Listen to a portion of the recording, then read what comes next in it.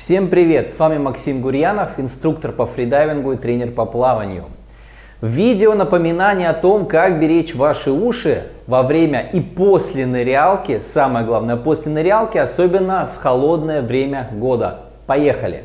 Первое. Всегда заливайте воду под капюшон. Если вы ныряете в холодной воде, то вода должна быть в термосе, на берегу, на буйке, неважно где. Важно, чтобы вы периодически заливали именно теплую воду, не кипяток, само собой, за уши во время вашего ныряния, то бишь за шлем. Второе. После нырялки всегда надевайте капюшон или шапку даже в жаркое время года, особенно если вы передвигаетесь на лодке.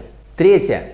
Если у вас проблемные уши, склонные к хроническому отиту и прочим лорд-заболеваниям, всегда промывайте после нырялки ваши уши водой комнатной температуры. Обычной водой из супермаркета, само собой без газа. Проще всего это делать из полторашки. Четвертое. Не занимайтесь самолечением. Если ваши уши заболели, если, допустим, принажаете сюда вот на эту, как называется, козелок, не козелок.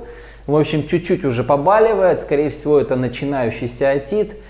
Не занимайтесь самолечением, идите до лора. Если вы находитесь в какой-то поездке, где до лора еще очень далеко, всегда, всегда в аптеке ныряющего человека, в аптечке, должен быть кандибиотик. Внимательно запомните и запишите это название. Ну и пятое. Учитесь продуваться, друзья мои, не допускайте баротравм. Продуваться тремя разными способами, в том числе продувкой без рук, так излюбленной подводными охотниками, вы сможете, просмотрев запись моего вебинара. Условия просмотра и ссылка в описании к данному ролику.